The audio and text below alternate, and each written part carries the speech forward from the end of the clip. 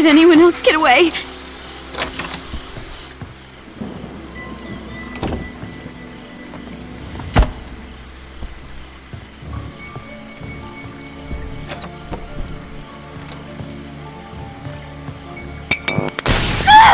Help